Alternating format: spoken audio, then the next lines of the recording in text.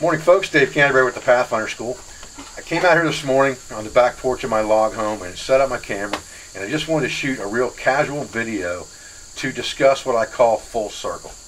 And I just wanted to have a little open chat with you guys, just me to the camera, not a bunch of you know skills in the background or campfires or in the woods or anything else. I just wanted to have this discussion so you guys can understand a little bit more possibly about my mentality over time.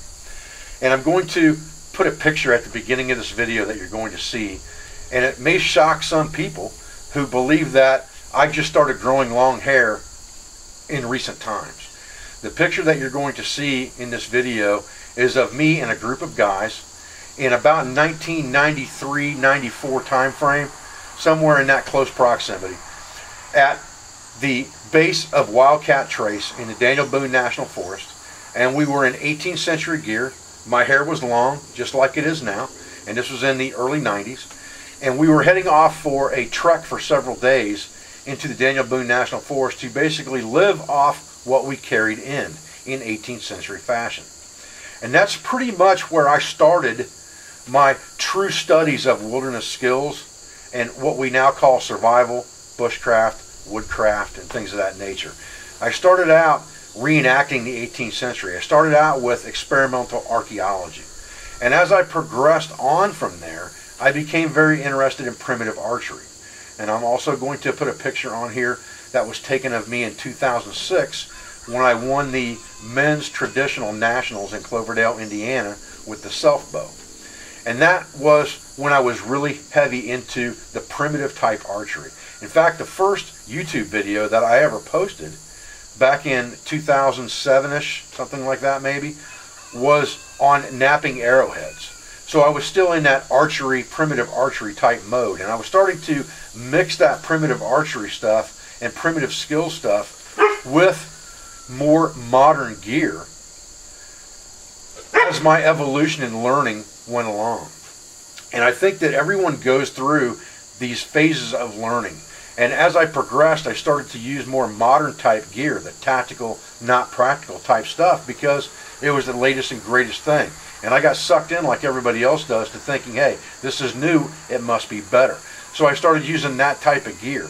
But eventually, I came back around to the more primitive stuff and started that experimental archaeological journey again with the primitive skills and the primitive archery, which led me back into the 1800s mentality and the 1700s mentality, and then later on in the 1900s mentality of classic camping and what we call woodcraft today, or where I'm at right now, discussing woodcraft and things of that nature. And I think that those guys of the early 1920s, they really kind of had it right because they understood that those pioneering type skills that people like Ellsworth Jaeger and Daniel Beard and those guys were teaching to young folks when they started the Boy Scouts of America and people like Thomas Sutton that actually were creators of the Boy Scouts of America or heavily pushed that movement, Thomas Sutton and Daniel Beard.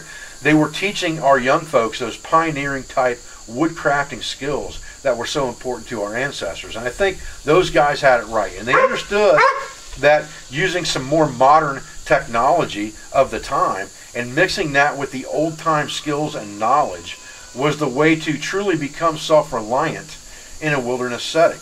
And I think that that's an important thing for us to think about. It's an important thing for us to realize. When we look at our gear and we look at our mentality, you know, everybody says, well, Dave created the five C's and the 10 C's. Dave didn't really create that stuff, it's always been there. Dave rediscovered it. There's really nothing new in, in this field or in this hobby or in this group or community that we're in. And I call it a community because that's exactly what it should be. It should be people helping each other, not tearing each other down. People should be trying to give each other all the knowledge they possibly can, and that's always been one of the things that I try to do with YouTube. And I got my part beagle running around loose today, playing with Rufus. This is Ruby, and we've had her for probably three, three years, something like that she's running around loose today. I got another dog over here. He's still uh, on the leash at the moment. His name's Max. He is a German short-haired bird dog, but he is an absolute killer. So if I let him loose, he kills everything in sight. And I got a guy across the road from me, eh, probably five, six hundred yards from me. I can look at straight line distance. Probably got 40 chickens. and they're running around in an open pen. I'm definitely not going to let this bird dog loose. He'll be over there tearing them up. So he only gets to go loose once in a while with me out in the woods, and I've taken him out there with Rufus already a couple of times. But this little beagle dog, she's a sweetheart. She just rolls over on her back and wants you to rub her belly. All right, go play, Ruby. All right, guys. So back to the conversation. I apologize. Like I said, this is just a real casual. The dog's just knocked the camera. okay, guys. So back to our conversation. I don't think anything in this community or in this hobby is new. Otzi the Iceman carried the five C's of survivability with him. He had a cutting tool. He had a way to affect combustion. He had a shelter element or microclimate that he wore in a large grass shawl. He had containers that were made from birch bark and also containers made from net. And then he also had cordage with him in the form of rawhide and leather lacings and whangs. So he had those five C's of survivability with him, and I didn't recreate that. All I did was give it a name with an easy acronym for people to learn it easier. So it was cutting tool, combustion device, container, cover element, and cordage. It's very simple. And the 10 C's of survivability were adapted beyond the five.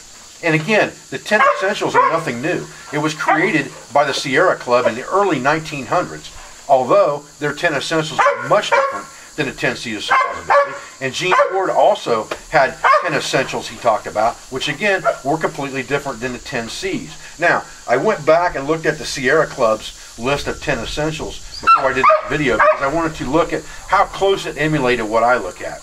And the mentality is completely different. I went to two different sites of the Sierra Club, and surprisingly enough, the number one item on both lists was a map and compass. So they're talking more about navigational needs, where I want to understand what it takes for immediate survival needs. And there's five of the 10 C's pretty much on the Sierra Club's list in one way, shape, or form. You've got a compass, you've got a flashlight, you have extra water, so you must have some type of container. Maybe it's not metal, and that is a key sticking point for me on a, on a container is that it has to be made out of metal because you have to be able to put that in the fire to disinfect your water, to make food, and make medicine. They also have fire starter, and they also have uh, a pocket knife. So they do have some of the five C's on here, but they've doubled up. They've got fire starter and they've got matches as two different items.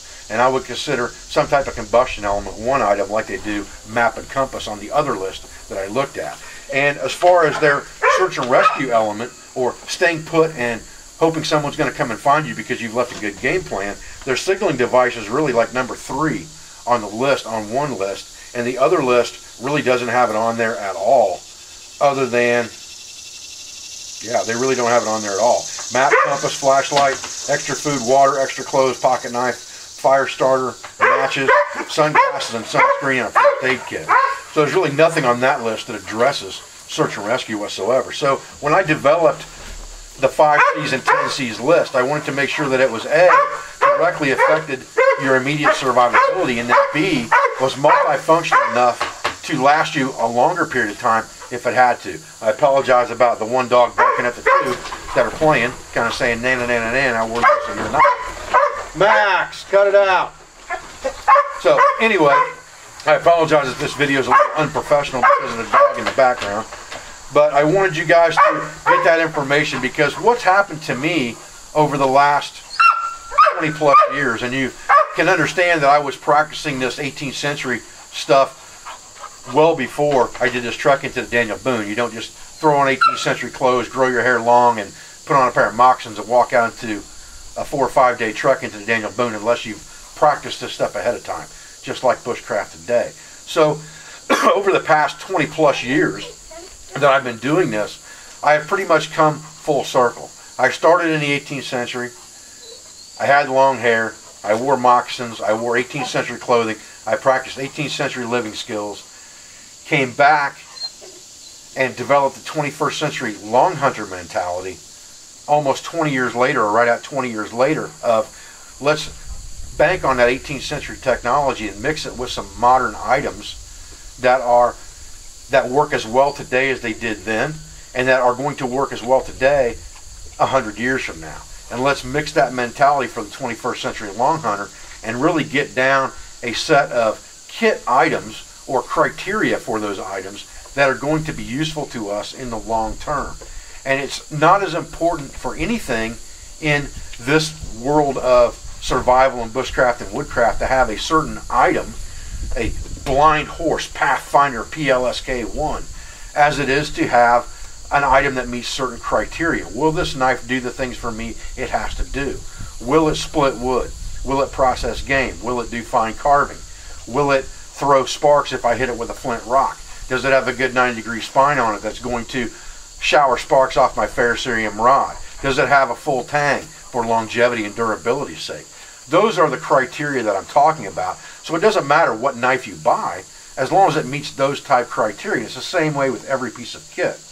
Now, one thing that I do want to say is I want to show you guys a, a page from an ad, and I'm going to go ahead and put it on this video so you guys can stop the video and look at this ad. But this ad is from Stoeger Arms Company in the 1920s, and it's a catalog page that advertises the Marbles Woodcraft knife, the Marbles Ideal, and the Marbles uh, Expert, I believe, are the three knives on one side, and then two of the uh, Woodsman Pal tools the civilian model and the military version on the other side. And it gives descriptions of these knives from the early 1920s. And when it gets down to the ideal hunting knife, it's called, it looks very much like what today is an Army KA-BAR. And it talks about that knife being able to split kindling, which is something that we think is all new, batoning a knife. Nobody ever did that in the past. Sure they did. The woodcrafters did it.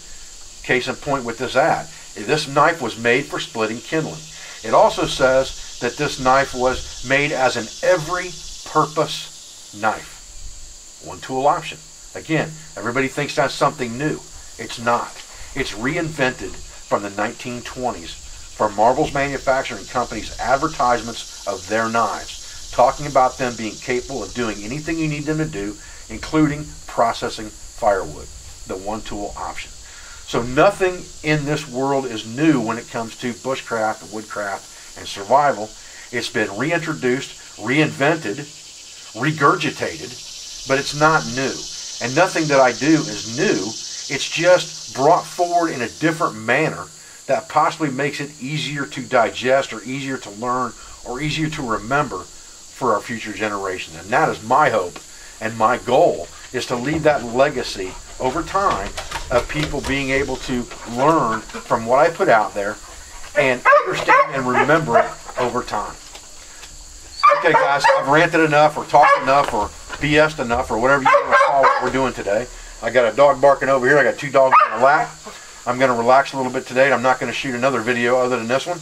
I've got to prep for a class this weekend out here. We have a basic class this weekend, and then I have some travel coming up fairly shortly after that. I'll be tied up for at least a week doing some filming out here at the school where I won't be able to do anything but that filming for a week with a production crew.